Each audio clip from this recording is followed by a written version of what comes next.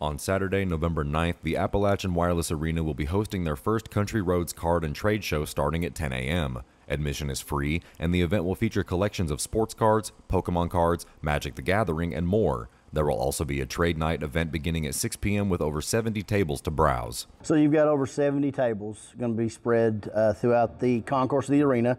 They're going to be people will be able to use the Main Street entrance. Huffman won't be open, It'll be the Main Street because we want them to go all the way through to see everything that's going on. Free admission. So uh, so it's from 10 a.m. to 5 p.m. and then we're going to have a trade night from 6 p.m. to 9 p.m. We're going to have some games set up on the second floor of the concourse there for Magic, uh, for the different uh, strategy games. So it'd be some breakout card games and all kinds of fun stuff.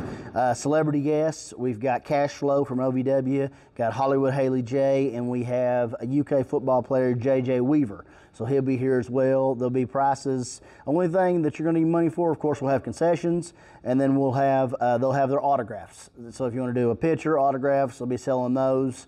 Um, come out and have some fun. Great vendors, card vendors, Pokemon vendors, uh, Magic, a little bit of everything. You've been asking for it, and now it's here. A better way to control your cellular plan with no credit check, no contracts, and most features of postpaid. Plus, lots of new multi month options and plans. It's the brand new Advance Pay because we are you. We are Appalachian Wireless.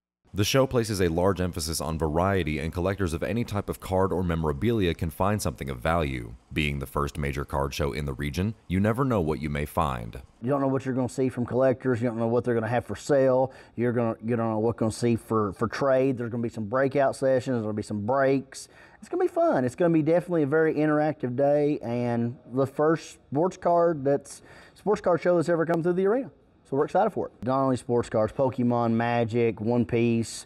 Uh, there's there's also sports memorabilia. There's other memorabilia. There's collectibles. So toys. Uh, there, whatever you're a collector of in that uh, genre of things, you'll find it here. So definitely some, something to come out, shop, look around, hit that person off your Christmas list already. If you know they're a sports cards fan, they're they're a Pokemon fan, whatever they are, get come in here and, and shop early for them. Knock it out. Reporting for Mountaintop News, I'm Nick Collum.